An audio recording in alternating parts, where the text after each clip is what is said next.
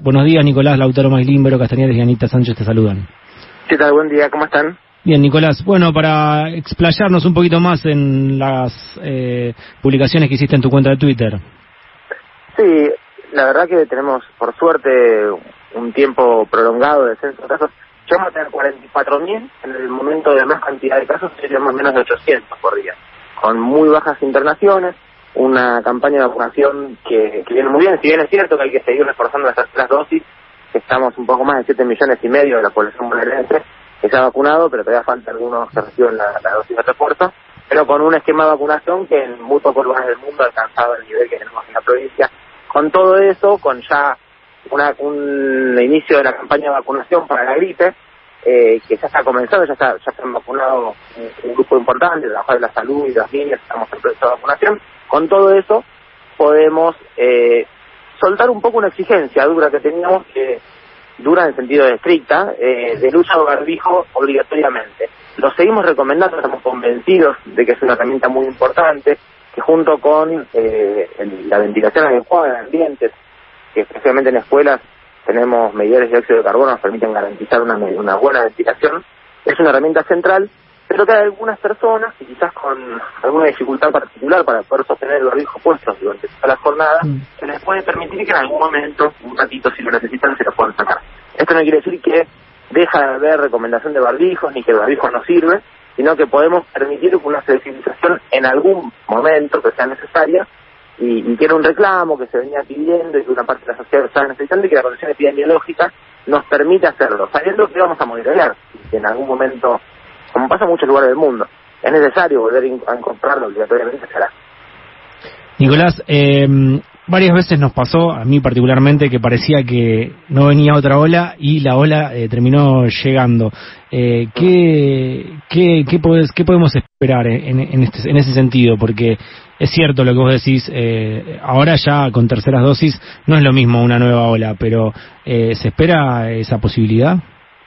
Bueno, lo, los tres elementos más importantes que, que tenemos ahora para, para, para pensar en una nueva ola eh, están algunos ya en circulación, ¿no? El primero es el inicio de las actividades habituales como las clases, que eso aún habiendo empezado las clases y habiéndose producido epidemias, enfermedades respiratorias, como por ejemplo la enfermedad de tipo influenza, pero no así con los casos de, de COVID, el segundo elemento es una variante más contagiosa que está produciendo brotes en Europa y en Asia, que es la BA2, es una variante de la Omicron, ya fue detectada en Argentina hace unas cuantas semanas, pero aún no, no generó tampoco un aumento de los casos.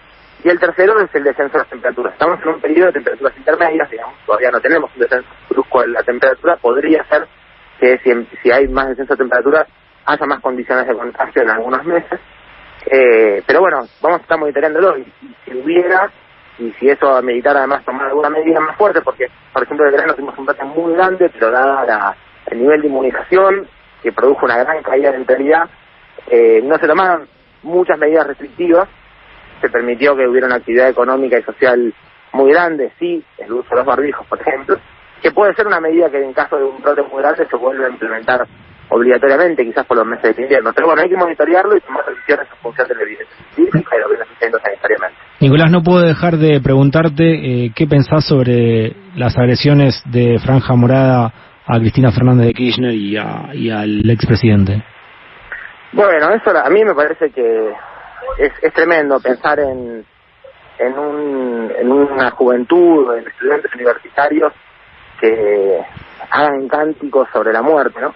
Hemos tenido en la historia argentina eh, vivo el cáncer, situaciones que eh, realmente son lamentables. Uno esperaba eh, que eso no existiera más, pero sobre todo espera que no suceda en la juventud y menos en la juventud militante, ¿no? Y bueno, si esto es los ideales por los cuales militan, sinceramente me parece eh, para aborrecer absolutamente. Me da mucha vergüenza, espero por favor que, que todas las autoridades de Cambiemos, de la UCR, de la Franja Morada, pidan disculpas por lo que por lo que sucedió, que esto no suceda, que bajen una línea hacia su militancia, si la línea que están bajando es esta, es una línea del odio, y en Argentina no se puede construir nada con odio. Eso ya hemos aprendido, la democracia nos muestra que tenemos que construir desde la diversidad, desde la empatía, desde pensar en un país en el cual se escucha todos y no se puede pensar desde ese lugar. Tantos que deseen la muerte deberían estar eh, no, no digo eh, que tienen que estar prohibidos, digo justamente todo lo contrario, tienen que estar eliminados por nosotros mismos. No podemos nosotros pensar que una consigna para cantar políticamente es darle la muerte a alguien que piensa distinto, que es el dirigente más importante y que ha sacado a más cantidad de personas de la pobreza eh, en este en este siglo, uno de los dirigentes más importantes de América Latina y de la historia, me parece que habría que reivindicarla, que habría que todos los días acordarse y agradecer lo que ha hecho y no este tipo de acciones que son eh, sinceramente una vergüenza. Ministro, buen día. Soy Verónica Castañares. Me quedó, ¿qué tal? Me quedó una en el tintero de acerca de, lo que estaba hablando de la gripe. Em, le quería preguntar cómo, cómo viene con la vacunación, digamos, en cuanto a la cantidad de ah. vacunas, eh, a la forma de articular eh, este procedimiento. Es muy importante eso. La vacuna de la gripe no es igual que la vacuna del COVID, no es para toda la población. La vacuna de la gripe es para las personas mayores de 65 años, las personas gestantes, los niños entre 6 meses y 24 meses, y los que tienen entre 2 y 64 con enfermedades crónicas, respiratorias, cardiovasculares, oncológicas, y se incluye también a la obesidad en este grupo. Esa población hay que vacunar, eso es muy importante.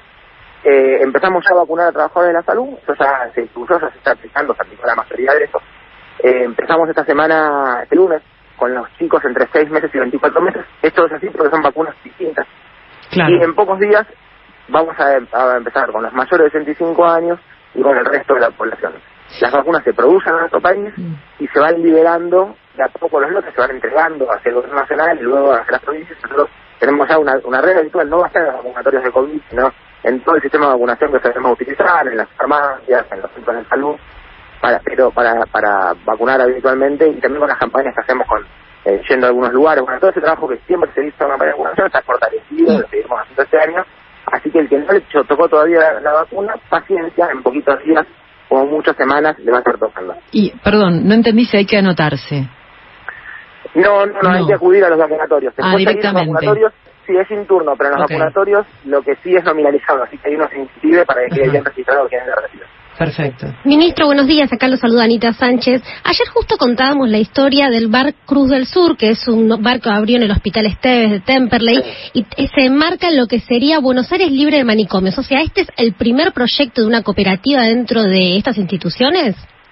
dentro de esta institución en particular, que era una necesidad muy, de este que es un hospital eh, neuropsiquiátrico monovalente, en Lomas de Zamora, eh, que tiene un, un proceso de desmanicomialización que se lleva bastante tiempo y que ahí este, estos últimos años, estamos en gobierno nosotros, está creciendo muchísimo.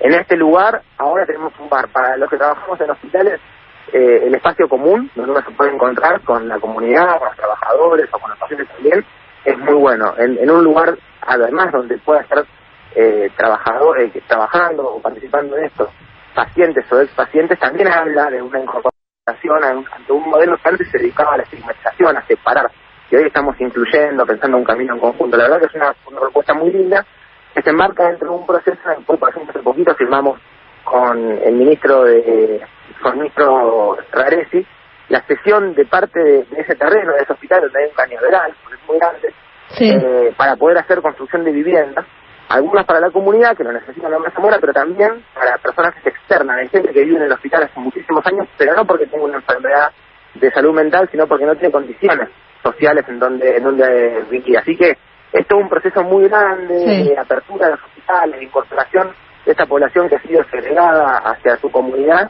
y, por ejemplo, emprendimientos laborales en lugares donde además ya se viene la comunidad hospitalaria, nos da mucha alegría y además nos da un poquito de ternura, que es un poco todo lo contrario a lo que escuchábamos recién de, del cántico en contra de, Cristina, nosotros necesitamos escuchar al otro, sentirlo, acompañarlo. Me parece que justamente eh, políticas que, tengan a la ternura como uno de sus ejes son necesarias. El ministro Nicolás Kreplak, ministro de Salud bonaerense, eligió el tema Fuegos de Octubre. Eso nos dijeron, al menos desde tu equipo. Queríamos saber por qué. ¿A vencedores vencidos es? Sí. Vencedores vencidos. Vencedores vencidos. ¿Por qué, Nicolás? No, hay que, es de todo, ¿no? Es una de las canciones más importantes del rock nacional. Pero voy a decir una pavada, me fascina el riff ¿Te fascina el riff? Bueno, buenísimo, se eligió por eso. Nicolás, la próxima te llamamos para hablar del documental, La insubordinación, ¿te parece? Dale, por supuesto, me encantaría. Muchísimas gracias. Abrazo.